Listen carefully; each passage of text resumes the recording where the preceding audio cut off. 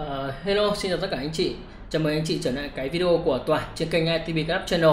Thì uh, ngày hôm nay thì Toàn sẽ nói về một cổ phiếu đang có những cái báo động đỏ, những cái tín hiệu giảm điểm rất là sâu đối với uh, thị trường chứng khoán đó chính là cổ phiếu Novaland.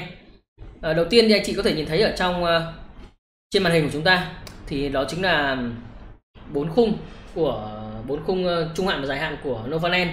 Ở đây thì Toàn đánh giá rất là tiêu cực đối với cổ phiếu Novaland nếu như anh chị uh, đang nắm giữ thì phải cẩn trọng đối với Novaland kể cả nắm giữ dài hạn thì anh chị cũng phải cẩn trọng. Uh, còn khuyến nghị những anh chị nào mà chưa tham gia cổ phiếu Novaland thì anh chị uh, đứng ngoài xem xem thôi không nên tham gia vào. Ở đây thì uh, toàn đánh giá cho anh chị rằng Novaland đang cho tín hiệu rất là tiêu cực. Ở đây anh chị có thể thấy rằng là chúng ta đang có những cái vùng đang có tín hiệu hợp ích ở khung ngày.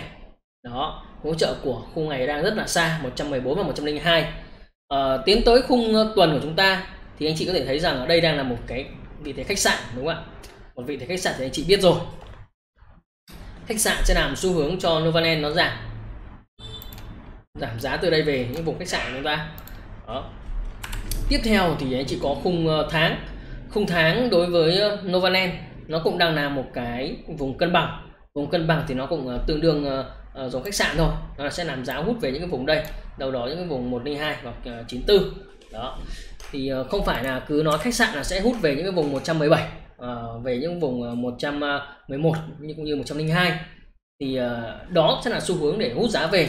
Tuy nhiên thì chúng ta sẽ nhìn ở trong những vùng uh, ngắn hạn hơn cũng như là trung hạn để xem nó sẽ về đâu về những hỗ trợ nào. Đó. Thì đầu tiên thì toàn mời anh chị tới những khung ngắn hạn hơn.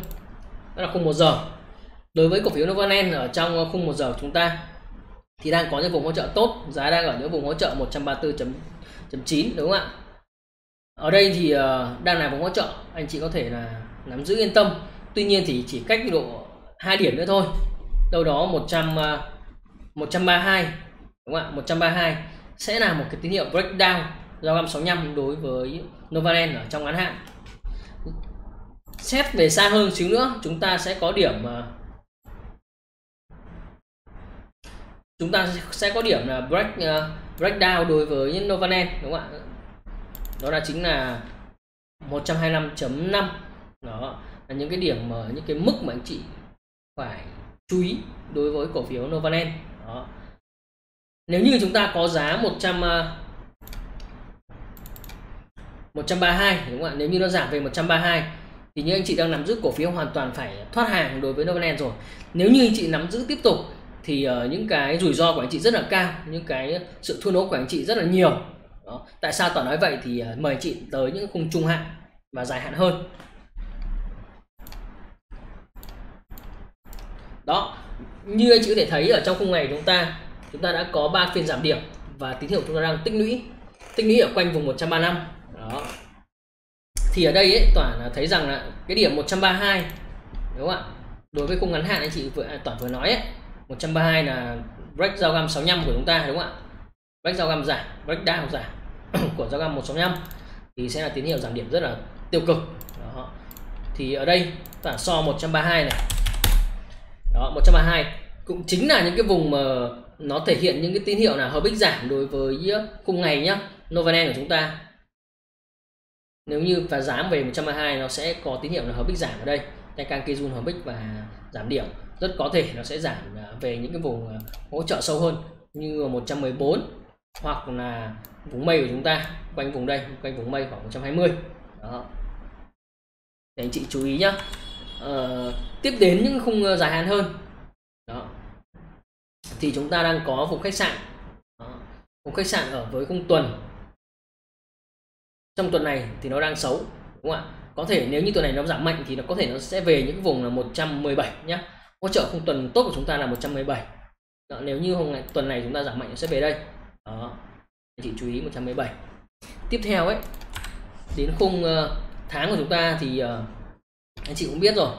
Uh, khung tuần và khung tháng thì nó đang nó là một cái xu hướng giảm giá về những cái vùng khách sạn là một. Về những vùng cân bằng là hai. Thì ở đây nó sẽ về những cái vùng 117 và 102 tuy nhiên chúng ta đang có hỗ trợ tốt 117 thì khả năng cao. Nếu trong tuần này nó giảm điểm mạnh thì nó sẽ về 117 nhé anh chị nhá. Cái sự hy vọng của chúng ta đó chính là nó tinh lũy quanh vùng 130 135 138 đúng không ạ? 135 đến ờ, 140 chúng ta chỉ hy vọng tinh lũy quanh đây thôi không được phá đáy. Đó thì uh, nếu như trong tuần này nó không phá đáy để nó giảm mạnh ấy, thì chúng ta sẽ có những tín hiệu ở khung tuần nó tốt hơn. Đó chính là khung tuần nó sẽ vượt cái hỗ trợ lên đây nó rời hỗ trợ lên đây đó chính là cái vùng 125.9 của chúng ta. Đó. Thì sang tuần tới nếu như có giảm mạnh thì cũng sẽ về những vùng 125.9 126 thôi. Còn tuần này giảm mạnh thì nó sẽ về sâu hơn 117 thì đối với cổ phiếu này thì anh chị uh, hoàn toàn phải chú ý nhá. Nếu như chị nắm giữ hoặc là nắm giữ dài hạn uh, đối với dài hạn thì uh, Novaland cũng không là một cổ phiếu tốt. Như toàn đánh giá trong khung tháng thì anh chị thấy rằng có thể nó sẽ có những sự giảm điểm rất là sâu.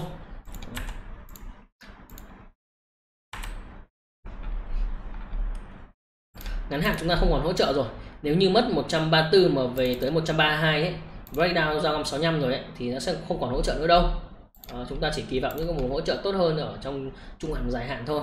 Đó chính là 117 sang tuần thì chúng ta sẽ có vùng hỗ trợ là 125 đó. Thì uh, nếu như anh chị đang ờ, theo dõi ờ, cái video của toàn uh, anh chị đang uh, tìm điểm mua đối với Novaland thì anh chị uh, không nên uh, tham gia và tìm điểm mua trong thời điểm hiện tại những anh chị nào đang nắm giữ hàng thì phải cẩn trọng với những cái vùng ờ, uh, toàn đã đưa ra. Đó chính là 132 nếu như có 132 chị hoàn toàn phải thoát hết hàng ra để tránh những cái sự rủi ro những cái những cái uh, sụt giảm vốn nghiêm trọng đúng không ạ? Phải uh, canh được điểm mất hỗ trợ là phải bán rồi. Không nên uh, gồng quá lâu để uh, nó giảm về uh, những cái vùng hỗ trợ rất là sâu của chúng ta. Đó là 117 đúng không ạ? Ok uh, đó là những cái nhận định của toàn về uh, mã cổ phiếu Novaland để anh chị tham khảo. À, nếu như anh chị có những cái nhận định khác về cổ phiếu Novaland thì anh chị hoàn toàn có thể comment ở bên bên dưới cái video này nhé anh chị nhé một lần nữa cảm ơn chị rất là nhiều đã quan tâm theo dõi và lắng nghe à, những cái video của toàn. À, xin chúc anh chị có những cái buổi giao dịch thành công và hiệu quả. Xin hẹn gặp lại anh chị ở những video sau. Xin cảm ơn.